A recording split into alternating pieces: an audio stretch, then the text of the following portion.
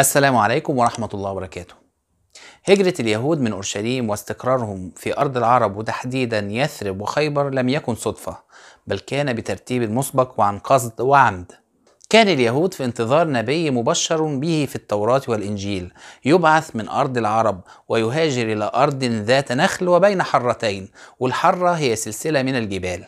ويثرب مدينة لها تاريخ عريق يمتد لعهد العماليق تأسست قبل الهجرة النبوية ب 1600 عام. وكانت يثرب مثل الواحة في الصحراء القاحلة وكانت معروفة لكل القوافل التجارية الذاهبة شمالا للشام وجنوبا لليمن.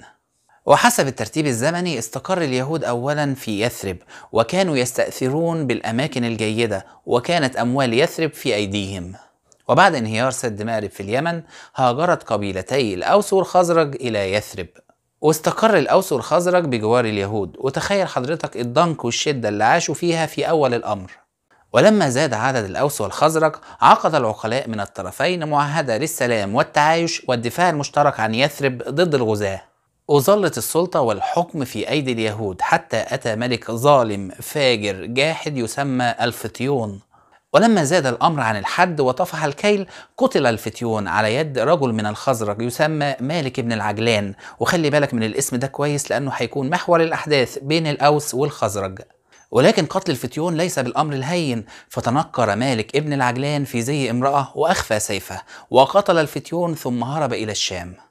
وكان موجود في الشام الغساسنة اللي هم أصلهم من اليمن وهاجروا إلى الشام واستقروا بها وكان لهم شأن وحظوة عند الملك.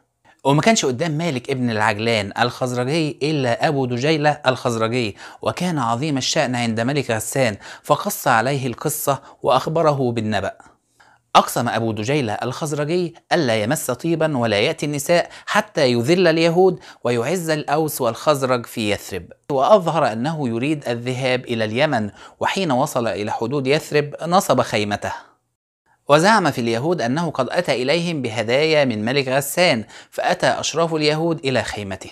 وكان دخول أشراف اليهود للخيمة واحد تلو واحد وكل ما يخش واحد تتقفل الستارة ويقتل. قتل من أشراف اليهود 200 وبعد ذلك لم يكن هناك أعز من الأوس والخزرج في يثرب. وشارك الأوس والخزرج اليهود في كل شيء وتوسعوا في المزارع وبنوا الآطام اللي هي الحصون. بدأ اليهود يلجأوا للسياسة بتاعتهم المعروفة فرق تسد وبدأوا بالإيقاع والتفريق بين الأوس والخزرج وصار هناك حروب طاحنة بين الأوس والخزرج استمرت لقرابة 120 عام. تخيل حضرتك أكتر من 10 حروب استمرت لقرابة 120 عام. أول حرب بين الأوس والخزرج كانت بسبب شخص يسمى سمير من الأوس. وبداية القصة إن مالك ابن العجلان الخزرجي اللي اتكلمنا عليه قبل كده كان له حليف يسمى كعب ابن العجلان أقام عنده فترة وفي يوم ذهب إلى سوق يثرب. ودخل رجل إلى السوق بفرسه وصاح بأعلى صوته ليأخذ هذا الفرس أعز أهل يثرب فتجمع القوم وحضر الشيطان فقال رجل فلان وقال يهودي بل فلان ابن فلان من اليهود وقال آخر بل أحيح الأوسي وقال كعب بل مالك ابن العجلان الخزرجي وفي نهاية المطاف أخذ كعب الحصان من الرجل وقال لهم متفاخرا ألم أقل لكم أن مالك ابن العجلان هو سيدكم؟ وكان وسط القوم رجل من الأوس يسمى سمير لم يعجبه الكلام فتربص بكعب وقتله ولما علم مالك بن العجلان بما حدث لحليف كعب ثار بشدة وطلب من الأوس سمير ليقتله فقالوا لا نعلم من قتل كعب ولما زاد احتقان الأمر عرض الأوس على مالك أن يأخذ الدية فقبلها وكانت دية الحليف نصف دية ولكنه طلب دية كاملة ورفض الأوس إعطاء دية كاملة وقرعت طبول الحرب واستمرت الحرب بين الأوس والخزرج لمدة 20 عام بسبب سمير وتخيل حضرتك عدد القتلى والدمار اللي حدث بين الأوس والخزرج بسبب سمير واللي استمر ل 20 عام فماذا فعل الأوس؟ عرض الأوس على مالك بن العجلان أن يحكم بينهم المنذر ابن حرام اللي هو جد حسان بن ثابت شاعر الرسول صلى الله عليه وسلم فقبل.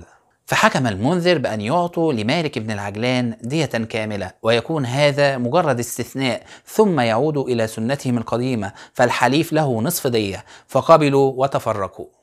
ولكن هيهات نشبت العداوة والبغضاء بين الأوس والخزرج واستمرت الحروب بينهم لمدة 120 عام حتى كان يوم البعاث اللي كان قبل بعثة النبي صلى الله عليه وسلم بخمس أعوام. جزاكم الله خيرا.